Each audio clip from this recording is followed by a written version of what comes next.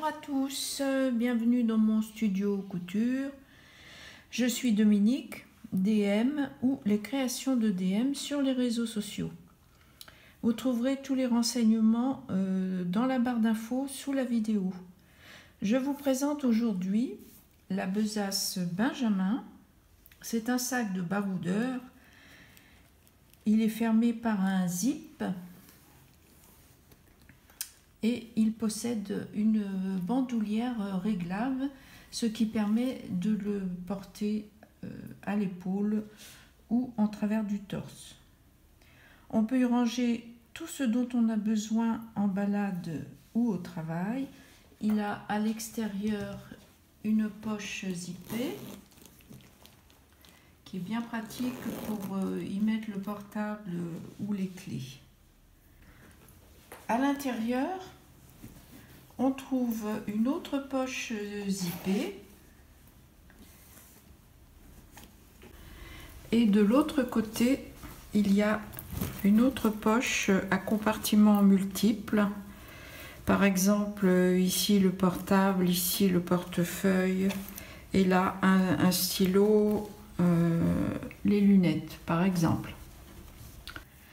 Enfin, de jolies surpiqûres ornent ce sac et euh, j'ai préparé un, tuto vidéo pour vous expliquer comment je fais pour faire des surpiqûres sur un sac ou une pochette. Donc votre fichier PDF, vous le téléchargez avec Adobe Acrobat Reader ou bien avec Aperçu si vous êtes sur Mac.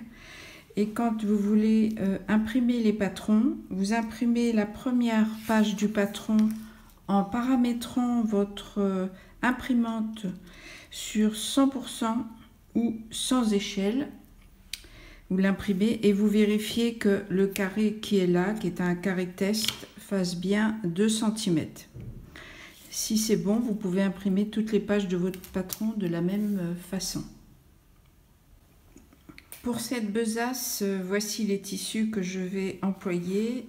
Vous avez toutes les références euh, des tissus employés en bas dans la barre d'infos et dans le tuto. Donc voilà, là ici il est entoilé. Ça, ça va être pour l'intérieur, un, coton un petit peu plus fin. Et les deux zips qui sont euh, métalliques, qui sont assez larges. Maintenant, je voulais vous signaler deux petites choses auxquelles il faudra porter attention quand vous taillerez votre tissu. Première chose, c'est pour le, corps, la pièce B. Voilà le patron. Il faut donc reporter le patron une première fois. Vous faites un petit, une petite marque au milieu et vous le posez en miroir de l'autre côté pour avoir la, pièce entière. Pour la pièce A, il va falloir les obtenir en miroir. Donc mon patron est là.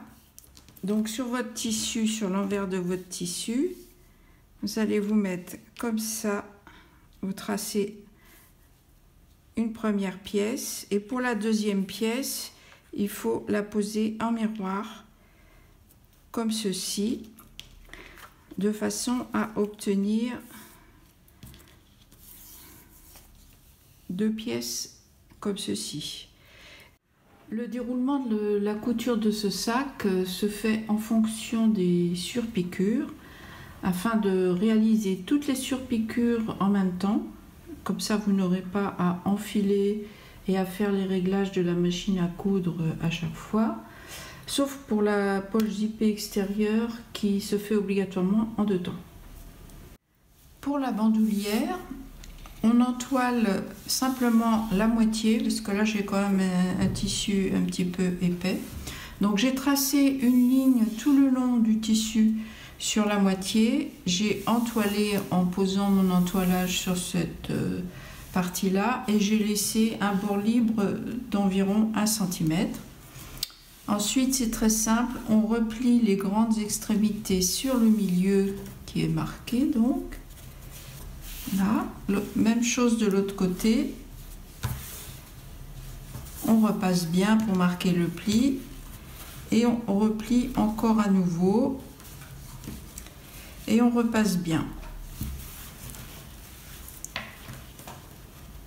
On fait ça tout le long de la bandoulière et on met en attente puisque on va euh, surpiquer après. Le lien pour l'anneau, c'est la pièce I qui est entoilée. On replie dans le sens de la longueur, on replie vers le milieu une fois comme ceci et on met de côté pour ensuite surpiquer de chaque côté. Le gousset, ce sont les deux pièces E qui sont aussi euh, entoilées. Donc vous remarquez que là il y a un petit côté et là il y a un côté plus grand. Donc on va coudre ces deux pièces euh, endroit contre endroit sur le plus grand des petits côtés ici et ensuite ouvrir la couture au fer. Pour la fermeture zippée du sac, on a donc notre zip. On a les deux pièces F non entoilées et les deux pièces F qui elles sont entoilées en laissant une petite extrémité libre d'entoilage pour qu'il y ait moins d'épaisseur. Et puis, on a les, quatre petites languettes qu'on va poser à chaque extrémité du zip. Alors, le zip, le zip fait 40 euh, cm au niveau des parties euh, métalliques. Donc le zip, j'ai repéré son milieu en simplement euh, superposant les extrémités. Comme ceci, j'ai marqué j'ai un feutre blanc spécial pour les tissus foncés. Voilà. Donc maintenant, on va poser les languettes à chaque extrémité. On va les coudre au ras des parties métalliques, pas dessus évidemment parce que ça serait pas possible. On va les coudre au ras. Il faut prévoir à peu près un centimètre de couture là. comme ceci. Une, languette en dessous, une languette au-dessus et une couture ici. Pour cette extrémité-là, j'ai fait un petit zigzag pour maintenir les deux rubans du zip. Ça va me permettre de coudre plus facilement. Voilà, les languettes sont cousues, ça donne ça à l'intérieur. J'ai bien repassé chaque extrémité. Alors maintenant, on va repérer le milieu des grands côtés des pièces F, c'est-à-dire qu'on les superpose simplement. On fait un petit cran de chaque côté et ceci pour les quatre pièces. Je prends donc ma pièce F non entoilée que je mets l'endroit vers moi. Je pose dessus mon zip endroit du zip vers moi, je superpose les milieux que j'ai repérés ici. Je vais venir mettre une première épingle. J'aligne bien les bords supérieurs du zip et de la pièce F. Et je viens mettre par-dessus une pièce F entoilée, celle-ci, endroit contre endroit. J'aligne les milieux et les bords supérieurs. J'épingle.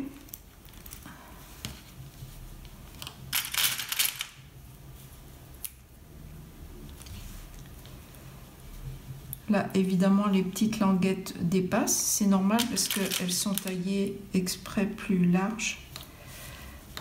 Je vérifie que mon zip est bien pris en sandwich entre les deux pièces qui sont bien endroit contre endroit et je vais venir faire une couture tout le long d'un bout à l'autre.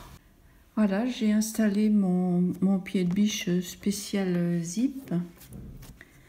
J'ai ouvert le, zip pour pas que le curseur me gêne. Et vous remarquerez que je commence ma couture un petit peu plus loin parce que là, quand je suis là, je sais pas trop où est, où est mon zip puisque je suis sur la languette. Donc je vais d'abord coudre cette partie-là et je reviendrai coudre l'extrémité ensuite. Donc je mets un point et demi, un point droit. Le, le pied de biche va glisser le long des dents du zip que je sens bien là à travers. Je vais pouvoir m'aider avec mon doigt, faire une petite marque au fur et à mesure.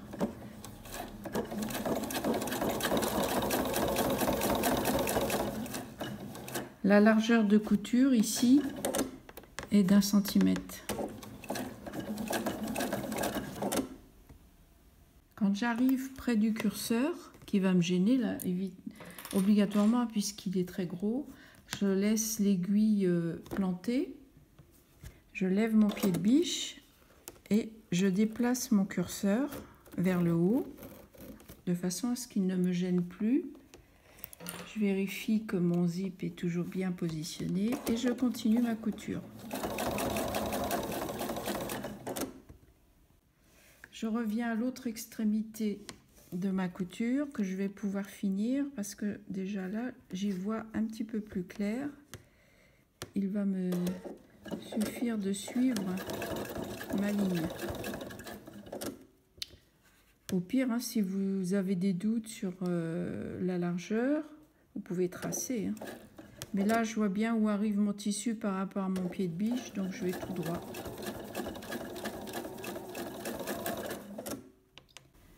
Voilà, une fois que c'est bien repassé, j'ai bien bien écrasé euh, la couture. Dessus, dessous, ça donne ça. Et maintenant, je vais faire exactement la même chose avec les deux autres euh, pièces F.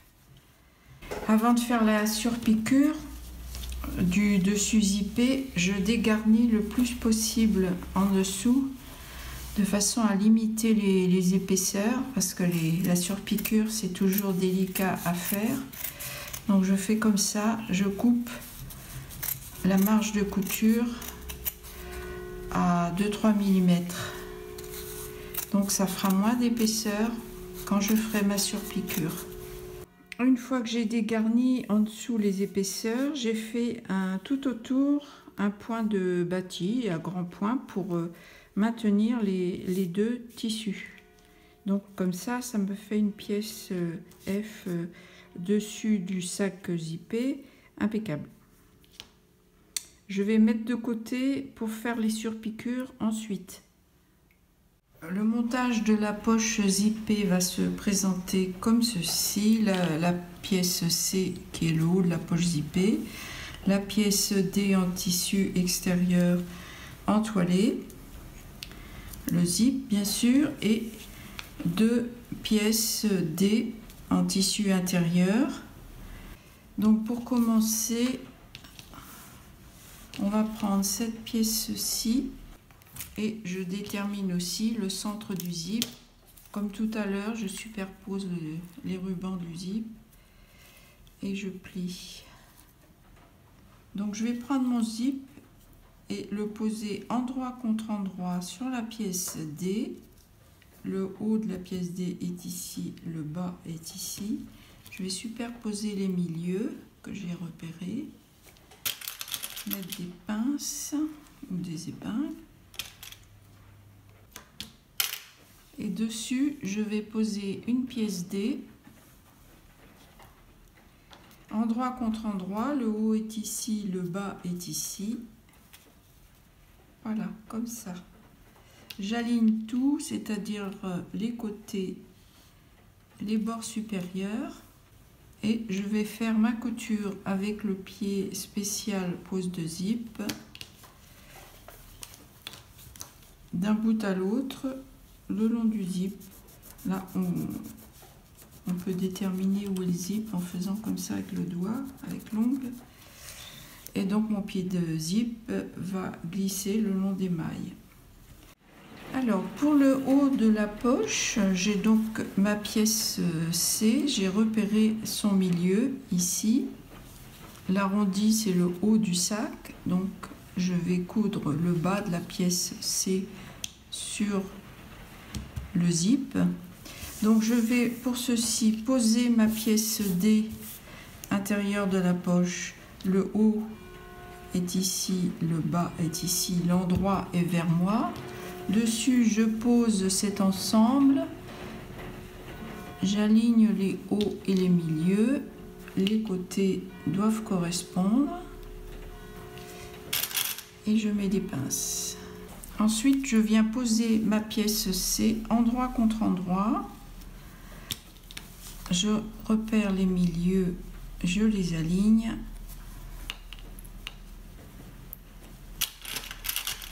Et je mets des pinces.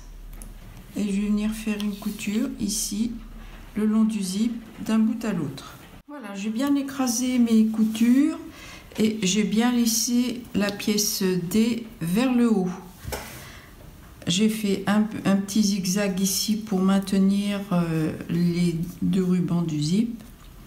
Et maintenant, je vais pouvoir venir faire la première euh, surpiqûre du, sac ici et ici de chaque côté du zip.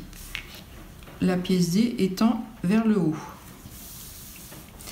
Pour les surpiqûres, je vous renvoie vers euh, ma vidéo que j'ai faite euh, où je vous explique comment je fais les surpiqûres et j'ai fait aussi un tuto sous forme euh, PDF. Voilà, mes surpiqûres sont terminées. Je vais maintenant rabattre le haut de la poche vers le bas, comme ceci. Mettre une petite pince de chaque côté. Et je vais venir faire une couture en bas de la poche en prenant que les deux pièces D ici en bas d'un bout à l'autre. Je recoupe maintenant ce qui est en trop pour aligner les deux parties de ma poche.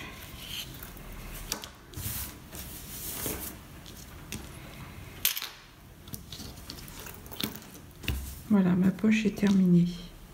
Maintenant, on va euh, poser les côtés de la poche, les pièces A, comme ceci. Donc là, c'est très simple.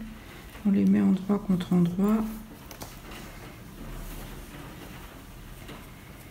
J'aligne le bas. Je vais mettre des pinces tout le long.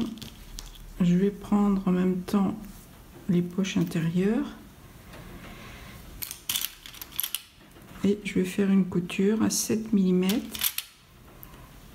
donc là, au niveau là, le dessous dépasse un petit peu, hein, c'est normal. C'est du fait de l'arrondi. Et donc je fais une couture ici tout le long à 7 mm. Quand euh, on passe sur le zip, on fait bien attention, mais normalement on est loin des parties métalliques. La première partie est cousue. Je vais les écraser ensuite au fer quand j'aurai fait les deux coutures. Je fais la même chose de l'autre côté en alignant la pièce A sur la poche et en prenant bien les deux les deux poches, les deux parties de la poche intérieure. Voilà, j'ai bien écrasé mes coutures euh, en les couchant vers l'extérieur. Ça c'est important. Et avant de surpiquer de chaque côté, je vais dégarnir le plus possible pour euh, simplifier la surpiqûre. Je dégarnis le plus possible ici, c'est-à-dire que je coupe à 3 mm, en particulier au niveau du zip, c'est là qu'il y a beaucoup d'épaisseur. Et maintenant, je vais pouvoir surpiquer toutes les pièces que j'ai mises euh, en attente. Donc j'ai réalisé mes surpiqûres au niveau du gousset ici de chaque côté de la couture.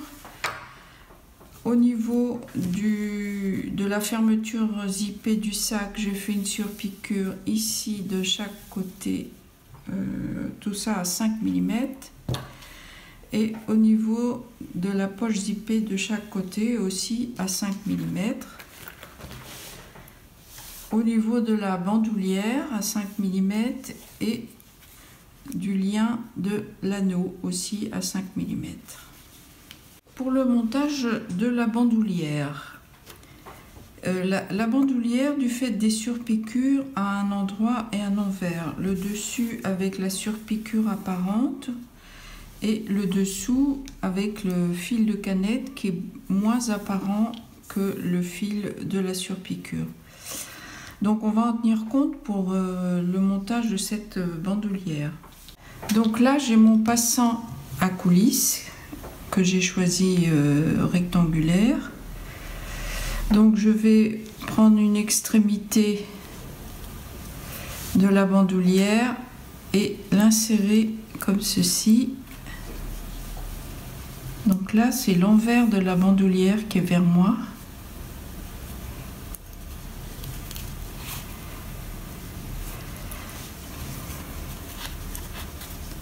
Je vais replier l'extrémité en dessous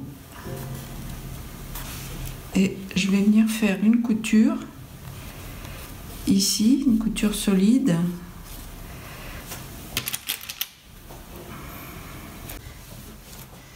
Donc je suis comme ça, je vais passer ma bandoulière dans l'anneau dans ce sens-là, c'est-à-dire que j'ai le dessus de la bandoulière ici avec les surpiqûres apparentes. Et je vais repasser ici la bandoulière. Une fois et deux fois.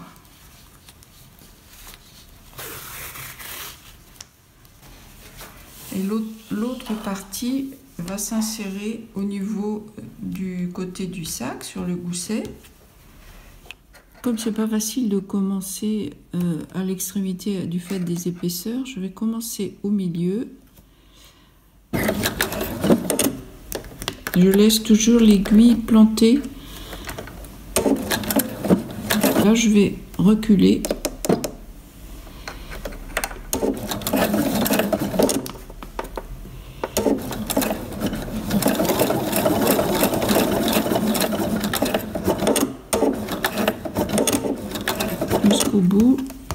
je vais mettre sous mon pied de biche une épaisseur de tissu replié pour l'aider à redémarrer dans l'autre sens.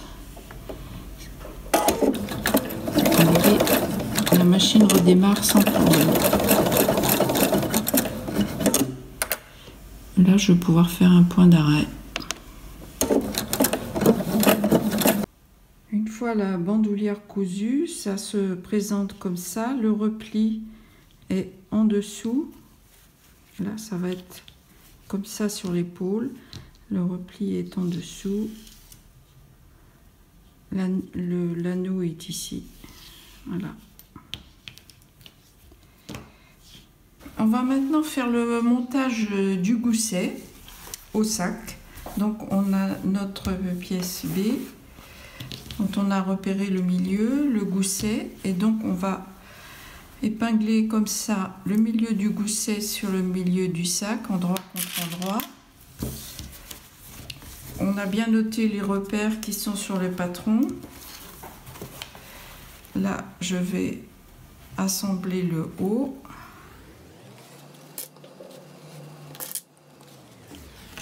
Et je fais coïncider les points de repère. Je n'étire pas le sac, enfin je n'étire pas le, gousset ou le sac.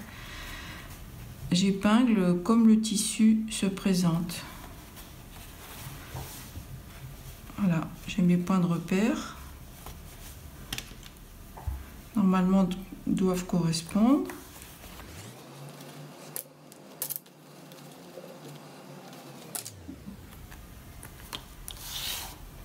Je vais faire ça des deux côtés. Et comme la difficulté, c'est la couture dans l'arrondi, pour plus de sécurité, je vais mettre des, épingles que je pourrais laisser en place lors de la couture. Simplement au niveau de l'arrondi.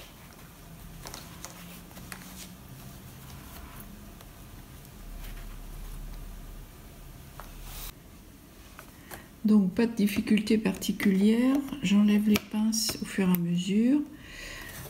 Le bord du tissu s'aligne sur le bord du pied de biche et je vais doucement dans les arrondis.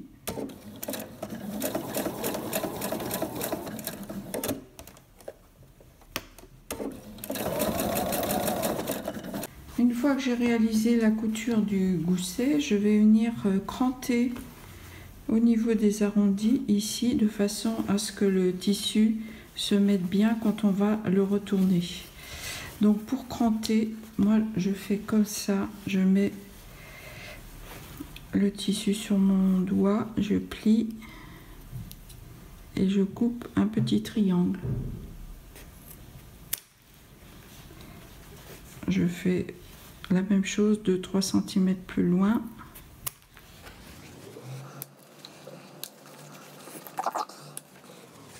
Voilà. Je fais la même chose de l'autre côté. Et maintenant, je vais pouvoir coudre le deuxième côté avec la, avec la poche. La même chose, hein, je vais euh, épingler tout autour et faire ma couture.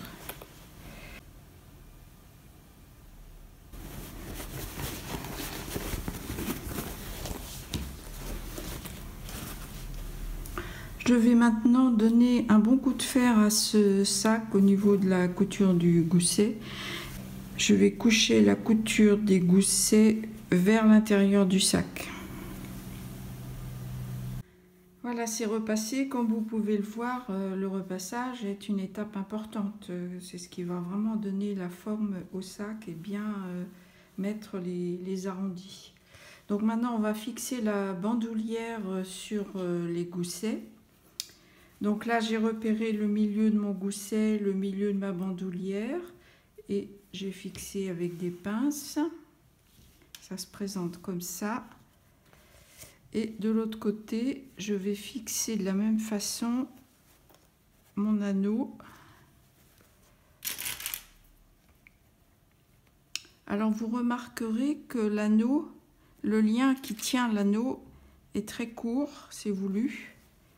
Parce que s'il était plus long, euh, l'anneau tournerait dans, son lien. Donc il faut qu'il soit assez court. Donc voilà, je vais euh, bâtir comme ça en place la, bandoulière. Pour que la bandoulière ne me gêne pas pour euh, la suite, pour le, le, montage de la fermeture zippée, je la positionne comme ça sous le sac. Alors maintenant, on va assembler le dessus zippé au sac. Donc on a repéré de la même façon les, milieux du sac et du dessus zippé. Et tout simplement, alors attention au sens de la, du zip, moi je veux que les zips soient posés dans le même sens. Donc je vais poser le dessus zippé comme ceci, endroit contre endroit. J'aligne les milieux. Je mets des pinces.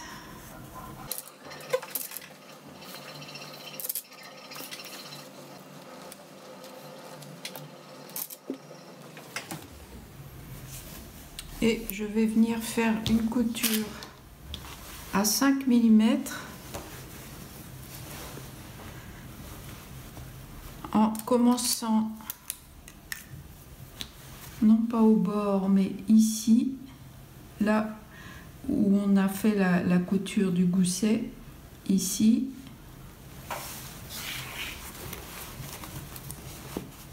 jusque là on arrête ici voilà, ma couture est réalisée. Maintenant, je vais ouvrir le dessus zippé. Je vais passer mon sac à l'intérieur. Et je mets des pinces.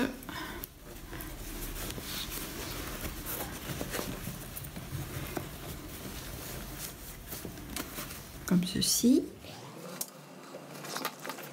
Tout le long. C'est un petit peu plus acrobatique ça se fait.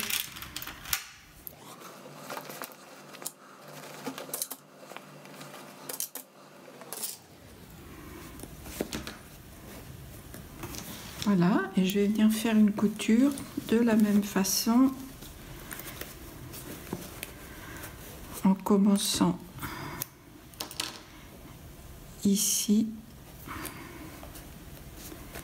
ici à 5 mm et en finissant de l'autre côté ici sur la couture déjà réalisée. Pour le sac intérieur, on fait d'abord la première poche zippée qui est exactement la même euh, que pour le sac euh, extérieur. On procède tout à fait de la même façon.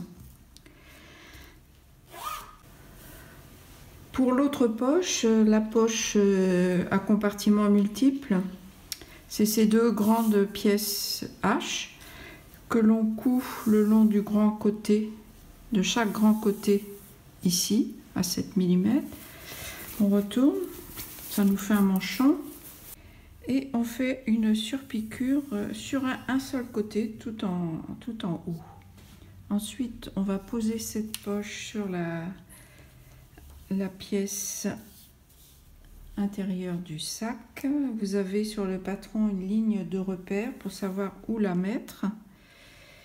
Et donc vous la posez. Là, je vais essayer de d'aligner les rayures, ce qui n'est pas le plus facile. Voilà. Et je vais mettre des, des épingles. Et je viens faire une couture ici en bas. Voilà, j'ai fait ma couture en bas. J'ai fait un bâti le long du côté du sac.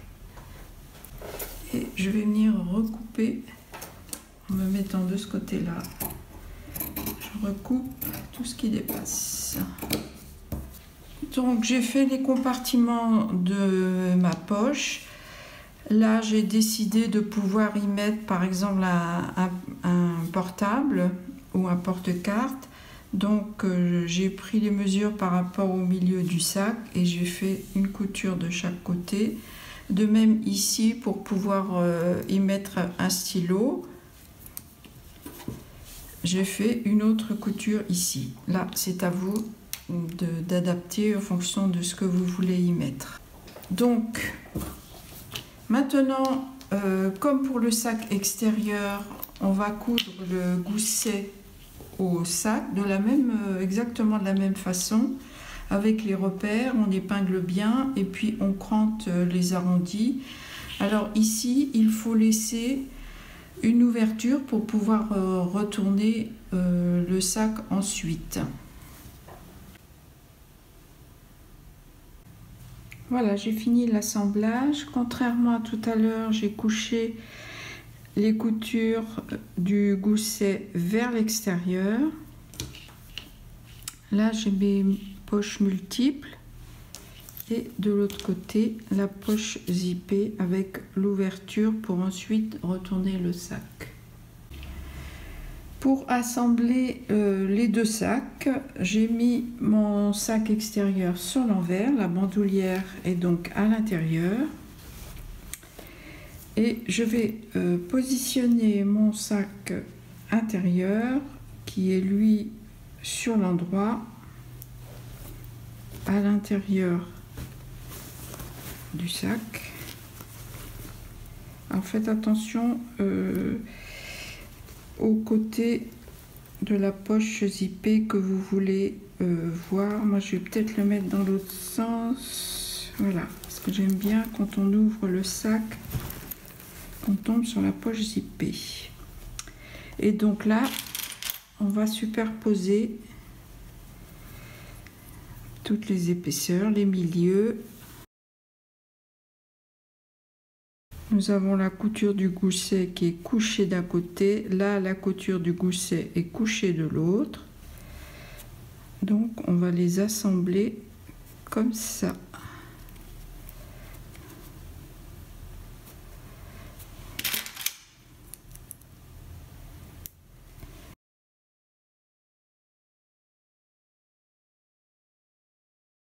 je mes coutures.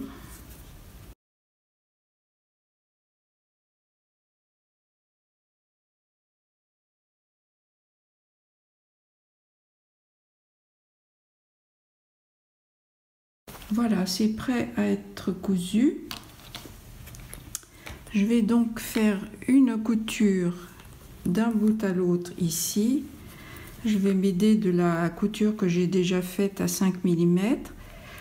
Et celle-ci, je vais la faire à 7 mm, c'est-à-dire largeur du pied de biche euh, standard. Et je commence bien comme tout à l'heure, au bord de la couture.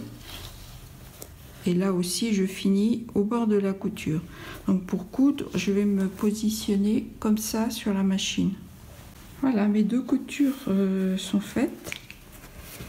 D'un côté comme de l'autre. Gros plan sur le début et la fin de la couture. On voit bien la couture que j'avais fait précédemment pour coudre la fermeture zippée. Et là, il faut s'arrêter vraiment là. Maintenant, il reste à fermer les côtés. Donc là, on va superposer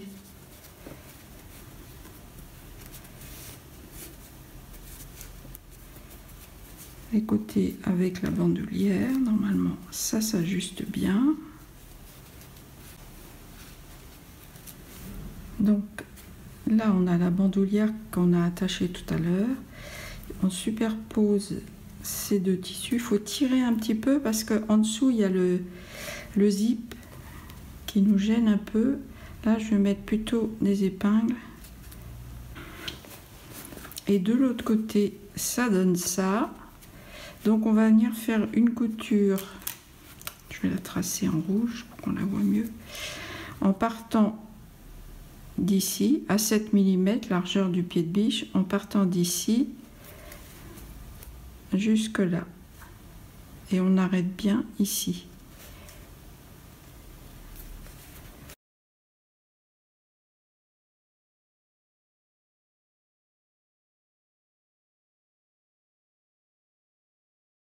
Alors je vous montre déjà ce que ça donne l'angle une fois qu'on a retourné le sac sur l'intérieur. Et donc on va le retourner maintenant complètement. Il va falloir bien repousser les angles de chaque côté.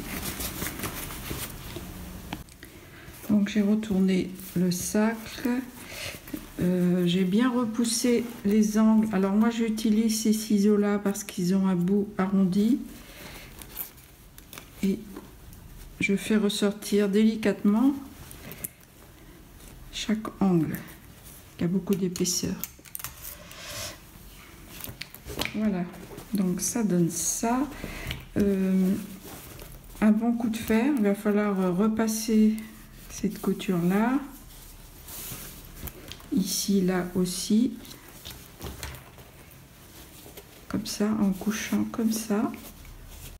Ensuite, on ressort le, sac euh, intérieur, on épingle l'ouverture et on va venir fermer ici avec une petite couture tout le long, soit à la machine, soit à la main. Voilà, une fois repassé, ce que ça donne, on a la poche zippée ici, la poche multiple de ce côté-là.